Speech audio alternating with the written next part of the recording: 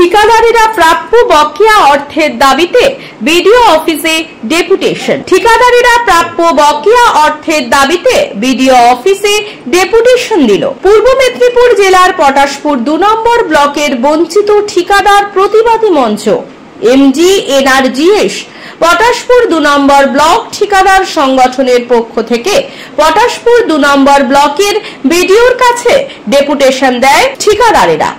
ঠিকাদারদের অভিযোগ, মহাত্মা গান্ধী জাতীয় কর্মসংস্থান প্রকল্পের কাজে যুক্ত পটাশপুর দু নম্বর ব্লকে ঠিকাদারেরা দু হাজার কুড়ি, একুশ, বাইশ এবং দু হাজার তেইশ অর্থবর্ষে বিভিন্ন কাজ ও মালপত্র সরবরাহ করলেও এখনও পর্যন্ত অর্থ পায়নি।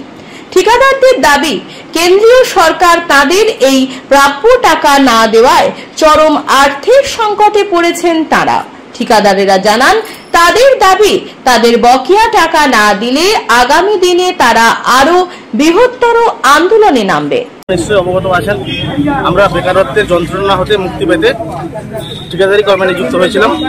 পশ্চিমবঙ্গ সরকারের জনমুখী প্রকল্প পরিকল্পনা রচনার কাজে দায়িত্ব নিষ্ঠা সহকারে আমরা কাজ করে আসছি নিজেদের জীবন জীবিকা নির্বাহের জন্য।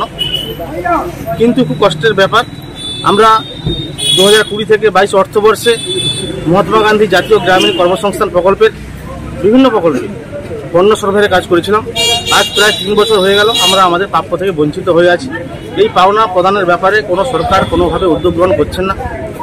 এই মুহূর্তে আমাদের বন্ধু ঠিকাদার বন্ধুরা অনেকেই কেউ পৈতৃক সম্পত্তি বিক্রি করে, কেউ বা ব্যক্তিগত দেনা করে এই ঠিকাদারি কর্মে গ্রাম বাংলার উন্নয়নের জন্য সামিল হয়েছিলেন। কিন্তু আমরা আমাদের হকের টাকা পাইনি। তাই আজকে বিডিও সাহেবের কাছে আমাদের ডেপুটেশন প্রশাসনের দিক থেকে কয়- কি আশ্বাস দেওয়া হয়েছে আপনাদের? সাহেব বলেছেন আমাদের দাবি দেওয়া সম্পর্কে ঊর্ধ্বতন কর্তৃপক্ষের কাছে আগামী দিনে যাতে আমরা টাকা পাই তার সুব্যবস্থা করবেন আগেও তো আপনারা বিভিন্ন জায়গায় ডেপুটেশন দিয়েছেন তাদের কিছু মানে আমরা এর আগে গ্রাম পঞ্চায়েতে দিয়েছি। গ্রাম পঞ্চায়েতে মাননীয় প্রধান মহাশয় আমাদের ছিলেন শ্রীরামপুর গ্রাম পঞ্চায়েতে তিনি আশ্বাস দিয়েছিলেন। তিনিও ঊর্ধ্বতন কর্তৃপক্ষের কাছে আমাদের দাবি দেওয়া সম্পর্কে রাখবেন এবং যত তাড়াতাড়ি আমাদের প্রাপ্য টাকা পাই তার ব্যাপারে।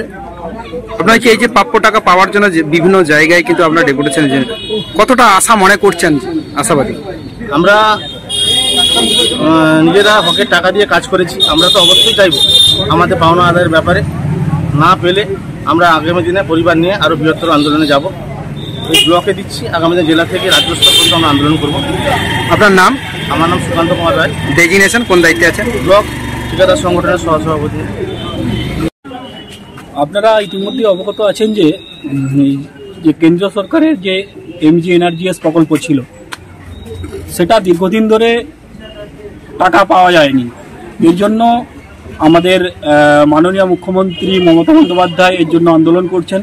দিল্লিতে গিয়েও আমাদের আন্দোলন হয়েছে। দীর্ঘদিন ধরে এর টাকা পাওয়া যাচ্ছে না। এবং আপনারা জানেন যে যারা আনস্কিল লেবার ছিল, যারা মানে একশো দিনের কাজ করেছিল, তাদেরকে কিন্তু বকেয়া টাকা আমাদের রাজ্য সরকার থেকে দেওয়া হয়েছে। কিন্তু বঞ্চিত হয়েছে আমরা। আমরা যারা সরকারি কাজে বিভিন্ন উন্নয়নমূলক কাজ করেছি, ঠিকাদাররা, তারাই কিন্তু আজকে আমরা বঞ্চিত। আমরা এই ডেপুটেশনের মাধ্যমে মাননীয় সরকারের দৃষ্টি আকর্ষণ করতে চাইছি ইনাদের মাধ্যমে যাতে আমরা এই যে সমস্ত ঠিকাদার অসহায় জীবনযাপন করছি এই ব্যাপারটা ওনাদের যাতে দৃষ্টি আকর্ষণ করা হয় সেই জন্য আমরা ডেপুটেশন গ্রাম পঞ্চায়েত আমাদের যে ঠিকাদার সংগঠন আছে তার একজন মেম্বার নিজের বাড়ি মানেই মাথার উপর নিশ্চিন্ত ছাদ ছাদকে রক্ষা করুন রোদ বৃষ্টির যাবতীয় প্রকোপ থেকে। আপনার বাড়ি নতুন হোক বা পুরনো pen doctor leak guard vaccine যা প্রিমিয়াম ওয়াটারপ্রুফিং সার্ভিসের মাধ্যমে বহু বছর সুরক্ষিত রাখে আপনার ছাদকে। বিশদে জানতে এখনই ফোন করুন।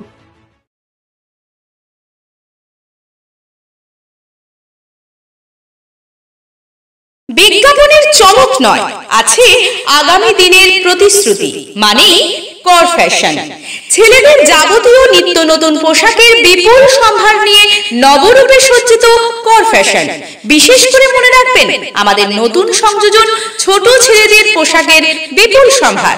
আমাদের ঠিকানা ময়না রবিবারের বাজার। আমাদের আরেকটি শাখা বলাইপন্ডা বাজার, চৌরাস্তার দক্ষিণে ময়না। মনের মতন পোশাক মানেই কর ফ্যাশন বিজ্ঞাপন দেওয়ার জন্য যোগাযোগ করুন স্টুডিও কল্যাণী, ভোগলাবাড়ি, ময়না, পূর্ব মেদিনীপুর। নতুবা ফোন করুন Yadav nine eight double zero three zero three zero one seven. এছাড়া Asit Bera nine nine three triple two seven seven three nine.